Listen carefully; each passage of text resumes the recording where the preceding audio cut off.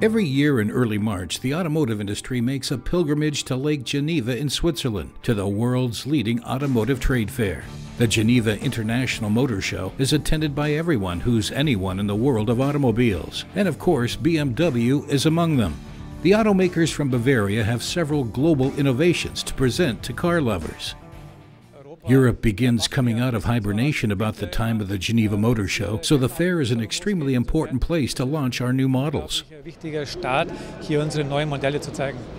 The first debut is the revised BMW 1 Series. It looks different than its predecessors, primarily thanks to the redesigned rear lights and its new grille with larger headlights. It also has new engines under the hood.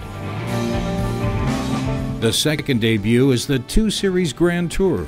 Following up on the success of the Active Tour, the first BMW with front wheel drive, comes this 21 centimeter longer version that seats up to seven and still has plenty of room for luggage.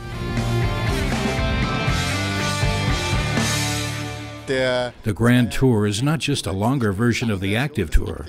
Although the vehicles are closely related, the new model is based on an independent concert we hope will appeal to new target groups. The 2 Series Grand Tour goes on sale in June 2015. Prices start at 28,650 euros.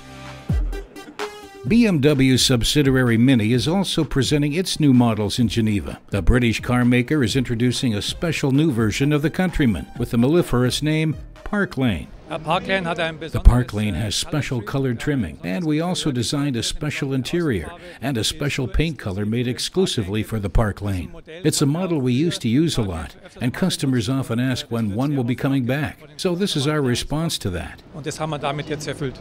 And while we're at it, Mini will also be showing the new John Cooper Works model, a turbo with 231 horsepower and a 2-liter engine. Meanwhile, at the Rolls Royce stand, the Phantom Serenity proves once again that luxury knows no limits. It used to be that high quality fabrics were preferred over leather in the interior, and we have revived this principle and reinforced it to the interior of the Serenity, where you sit on silk. Silk with fine embroidery is also used on the doors, ceiling, and rear seats. The driver's seat, however, is merely upholstered in leather. The BMW Group and its three brands are well positioned for the coming year.